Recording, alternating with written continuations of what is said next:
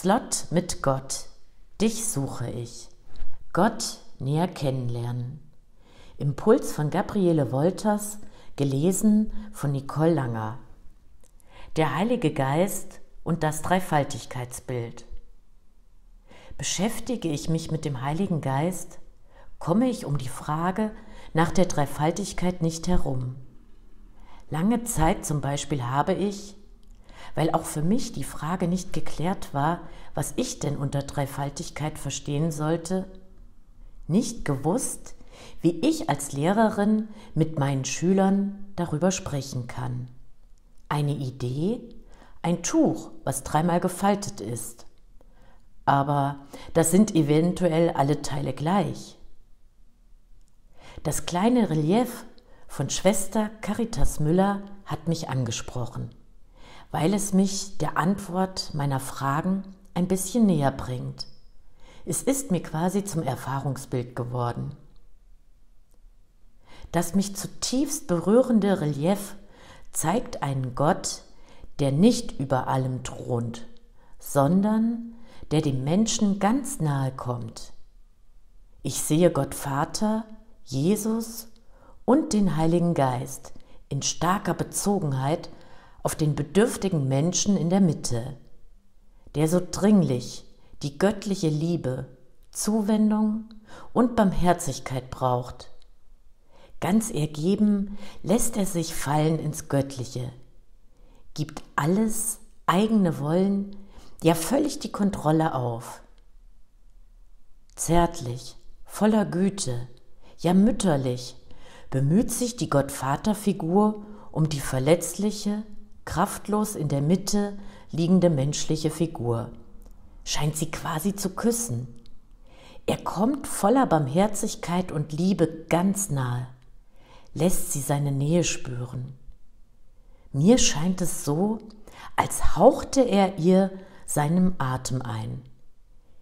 Er liebt den Menschen nicht, weil er etwas darstellt, sich bewährt oder etwas vollbringt, weil er gut ist, nimmt er den Menschen liebevoll in den Arm, greift ihm unter die Arme. Aus eigener Kraft kann der Mensch, obwohl er sich immer wieder vormacht, autark, stark, durchsetzungsfähig und unabhängig zu sein, tatsächlich nichts bewirken. Er braucht Gott, ist angewiesen und gehalten von Gottes Liebe, lebt durch ihn und in ihm. Ich frage mich, kann ich mich so bedürftig, verletzlich schwach zeigen, zulassbereit? Jesus im zweiten Kreis außen ist der menschgewordene Gott, der sich herabbeugt, mit in die Tiefe geht. So zeigt er sich uns in den Evangelientexten. So erfahren wir ihn.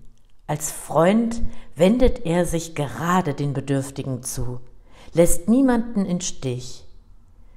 Er berührt, packt den Menschen bei den Füßen, versucht ihn wieder aufzurichten, auf die Füße zu stellen, ihn auf die Beine zu bringen. Die Darstellung hier erinnert mich ein bisschen an die Fußwaschung. Im oberen Kreis sehe ich die Flammen des Heiligen Geistes. Für mich sind es die Flammen über dem menschlichen Körper, die Energie, der Lebensgeist, die den Menschen entflammen und bewegen, ihn mit Hoffnung erfüllen soll. Das Pfingstbild von den Feuerzungen kommt mir in den Sinn. Da kommt ein ungeheuer dynamisches, belebendes Element ins Spiel, etwas, was der zerbrechliche Mensch außer Liebe, Zuwendung und Barmherzigkeit sonst noch braucht. Die flammende, lodernde Energie der Begeisterung. Gottes Geist soll im Menschen wirken. Wie eine Taube scheinen die Flammen herabzuschweben, zielen genau auf das menschliche Herz. Der Funke der Leidenschaft, der Begeisterung soll den Menschen erfassen, auf ihn überspringen, ihn beleben.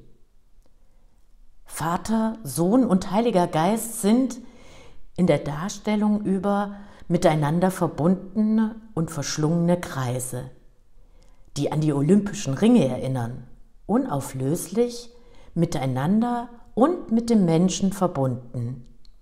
Sie bilden eine verwobene Einheit, ein Gottesbild und in Beziehung zum Menschen sein Seelenbild.